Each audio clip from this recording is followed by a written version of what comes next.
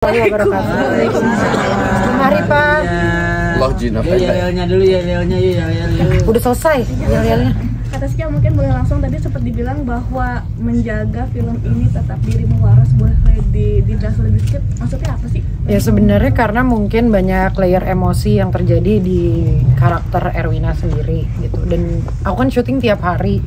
Dan salah satunya mungkin tantangan terbesarnya buat Erwina, buat Taskia sendiri juga syuting hari pertama itu malah waktu itu kita syuting ending scene duluan di mana aku harus mencoba untuk meng-create uh, scene-scene sebelum itu dengan imajinasi gitu. Ta- tapi ya dengan bantuan director, produser, terus juga kru-kru yang lain gitu. Kita bikin semoga itu menjadi uh, tidak kelihatan kalau itu syuting hari pertama masih bingung-bingung gitu. Padahal enggak. Dan ya itu layer emosi dari maksudnya satu di sini kan juga uh, karakterku punya anak jadi kan harus ada apa ya rasa-rasa yang mungkin belum aku pernah alami gitu. Jadinya aku mencari tahu dulu ketika punya anak terus rasanya ketika bahagia karena anak tuh seperti apa terus juga mungkin eh, hubungan antara keluarga yang toksik ini seperti apa menghadapinya dan ketemu partner-partner eh, kerja itu kan juga beradaptasi lumayan gak gampang gitu. Nah itu tuh gimana awkward awkwardnya pertama kali, apalagi itu pabrik yang menurut Erwina adalah pa- pabrik pertama dia bekerja sebagai buruh yang sebesar itu gitu. Dan ada ketakutan-ketakutan yang menurutku itu susah banget untuk konsisten eh, main di satu hari bahkan kadang juga di satu hari yang sama aku kadang ada di sini terus tiba-tiba muncul ada di sini aku harus balik lagi emosinya di yang pertama gitu itu eh, susah sih Sampai stres gitu misalnya sampai tadi pemanasan itu. Enggak sih, aku punya hiburan-hiburanku. Jadi aku ngerasa aku tidak lagi eh, kenapa harus stres gitu kan.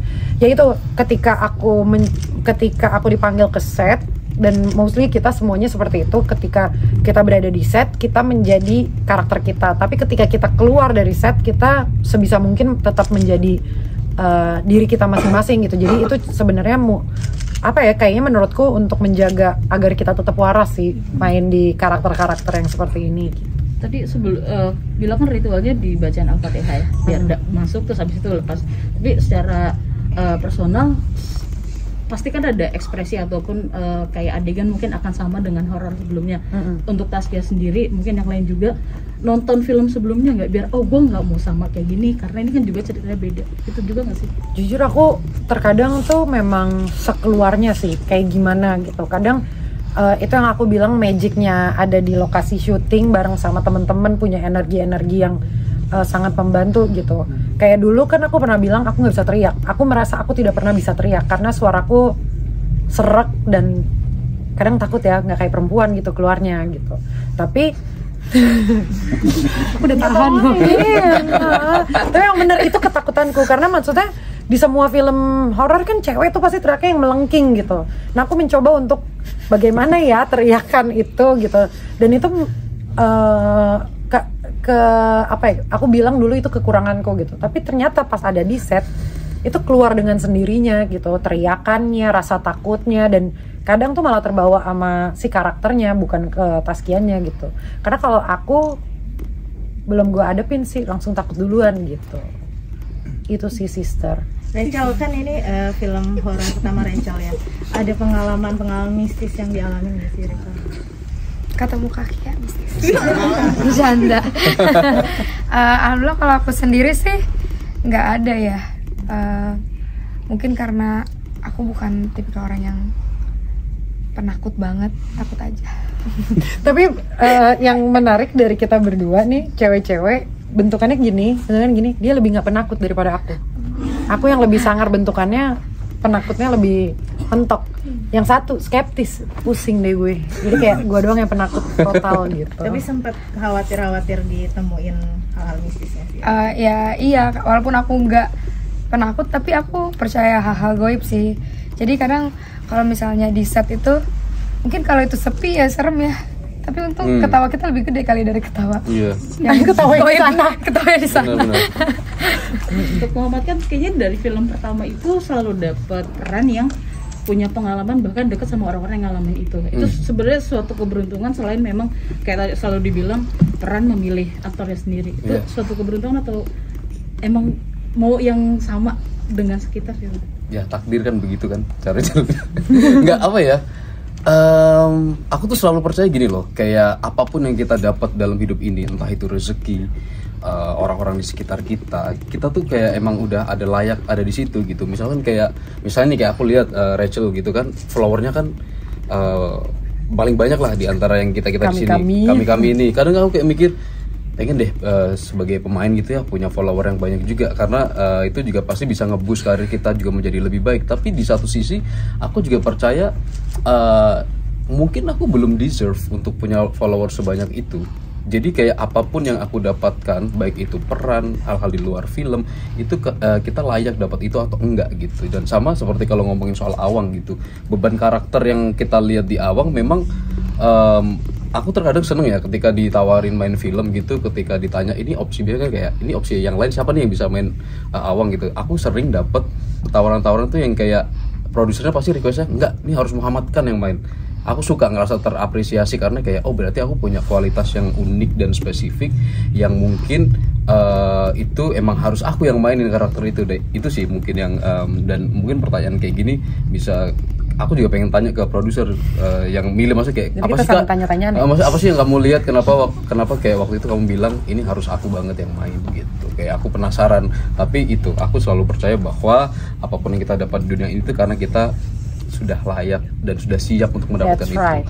dan mungkin kembali lagi ya misalnya kayak sekarang nih kita tukeran follower nih belum tentu aku bisa menghandle Sama sama, seperti seperti Rachel V-nya ketika V-nya. dia menghandle uh, followernya dengan segala macam konflik yang Bedul. dia hadapi.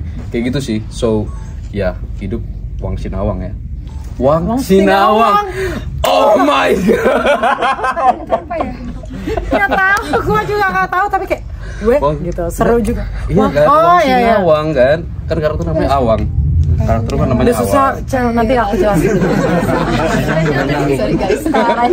Rachel kan tadi bilang eh, mendalami karakter itu ikut riset-riset juga ya tentang pabrik. Nah, ada cara lagi nggak sih atau kelas ikut kelas acting atau apa? Hmm, ya pasti sih kalau dari film dari Visinema sendiri ada workshopnya kayak nah, ngecat batik, workshop sling juga, terus olah, Olah tubuh. tubuh, olah rasa dan ada kayak ritual-ritual yang kan yang ada nari-nari tuh di dalam film film itu kan. Jadi kita juga untuk mencapai di titik kita keset itu ada latihan-latihannya juga dan membangun chemistry sama teman-teman pabrik aku ini. Terus em, ya juga nge-searching searching lah kayak kayak gimana sih orang kalau kesurupan gitu kan nggak pernah dan jangan sampai gitu Ada perubahan fisik nggak sih yang harus kamu lakukan untuk film ini? nggak ada sih kayaknya aku cocok-cocok aja di buruh pabrik ya. Jadi eh, gitu. Tadi boleh tanggapannya tadi sang sutradara kan ngomong awalnya dipandang skeptis bahwa ah ini ada influencer cuma jual follower tapi akhirnya kamu dipuji sama sutradara tanggapannya seperti apa dan teman-teman melihat actingnya Rachel seperti apa sih? sebenarnya aku sendiri aku sendiri tahu sih kalau pasti banyak orang yang beranggapan kayak gitu. Dan itu sebenarnya jadi pressure juga buat aku karena aku tuh kayak ada rasa ingin membuktikan gitu. Tapi aku pengen aku tetap enjoy. Jadi rasa pembuktian aku tuh nggak lebih besar daripada enjoy aku berusaha memikirkan eh memikirkan apa sih Diem. tahu gue. Diem ya Allah kayak gini deh rasanya. Ya kayak gitu. Jadi mungkin pressure kayak ada takut. Kamu ngapain sih? Aku kayak nggak- misalnya dari aktor Allah, mata gaya aku ngapain? Nggak ada kan? Itu kayaknya arwah-arwah lain deh. Ya jadi gitu karena em, orang-orang pasti kan kalau ngeliatnya ya paling dia main film karena followers gitu-gitu kan. Dan aku tuh sebenarnya itu juga yang aku ngomong sama Kak Billy. Kak Billy em, kalau misalnya aku menurut Kak Billy ini bukan karakternya bukan bukan aku nggak bis bukan aku bisa yang lain itu nggak apa-apa banget loh. Aku aku ngerti gitu. Tapi ya alhamdulillah aku ada di sini Siapa dulu nih ngajarin apa sih? Eh? Taruh satu-satu, satu-satu. apa ini jadi kocak begini loh bentar bentar ini dulu nih dijawab dulu nih Apa? ayo aku dulu ya aku dulu ya Nah, oke Bangkan dulu, bangkan, bangkan. Aku waktu pertama kali ketemu. Rachel tuh em, orangnya eh, kayak pendiam, tapi pendiam terus kayak memang eh, seperti dia apa ya nahan diri gitu-gitu kan. Cuman setelah ngobrol apa segala macam memang dia akhirnya mau share kalau dia ngerasa insecure karena ngerasa kayak gua pemain baru lah kayak gini gini tapi malah aku ngera- eh, yang paling aku suka dari Rachel itu dia tuh humble banget. Dan dia tuh aku tuh malah kayak ngerasa aku tuh harusnya kayak Rachel nih. Maksudnya setiap kali project tuh kita harus mengosongkan diri dan itu selalu ada di dia gitu. Dia tuh orang yang kayak nggak apa ya maksudnya dia karena dia mengosongkan diri gitu jadi ketika dikasih feedback atau dikasih instruksi gitu bisa menyerap dengan cepat gitu. Dan Rachel dia belajarnya cepat banget gitu. Dan aku juga happy maksudnya industri film Indonesia ini kan sekarang sangat open minded ya. Siapa aja tuh bisa main film. Nggak harus punya yang dari background akademik gitu. Influencer youtuber pemain musik komika siapa pun tuh bisa. Bunda Korla aja main film gitu kan. Nggak boleh sebut sih harusnya. Bunda-bunda di luar sana. Bunda-bunda di luar sana. Tapi ya kembali lagi bagaimana aku ngelihat bagaimana aku melihat Rachel, eh, aku belajar satu hal dari beliau ini adalah dia sangat humble dan itu aktor tuh harus punya humble itu. Kakia salting. gimana kaki? Kakia gimana kaki penilaiannya terhadap Rachel?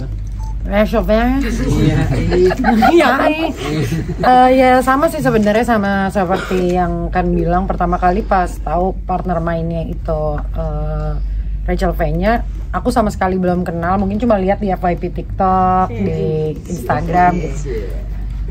Gitu juga kan.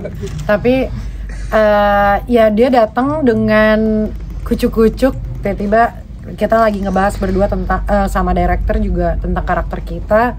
Dia sangat mengosongkan yang apa yang mungkin sebenar, sebenarnya dia pernah pelajari di film sebelumnya gitu tapi dia benar-benar datang kayak mau eh, aku mau eh, tolong bantuannya ya aku inget banget tuh kata-kata itu kayak "Mo- mohon bantuannya ya aku eh, masih baru nih pak film pertama horor bla bla bla gitu. Dan eh, awalnya aku mengira aku nggak bisa deket atau nggak bisa ngobrol sama dia paling cuma kayak ya syuting abis itu kita lupa-lupaan gitu. Tapi ternyata ini anak emang pendekatannya lumayan susah. Jadi emang karena yang satu introvert dan ekstrovert jadi lumayan bentrok di tengah ya gitu. Tapi eh, aku inget banget pertama kali lumayan aku mencoba untuk masuk ke jiwanya dia nih itu pas lagi emang kita olah olah tubuh ya kalau nggak salah. Olah rasa dan olah tubuh lah gitu. Maksudnya ngobrol. Latihan, latihan. olahraga saya dia enggak. Susah dia diajak itu.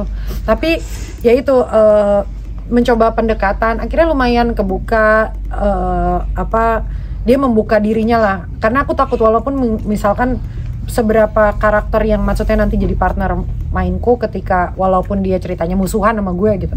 Gue tetap harus bisa eh, ngebuka dulu. Jadi biar kita tuh komunikasinya bagus gitu. Nah Rachel ternyata konyol aja gitu.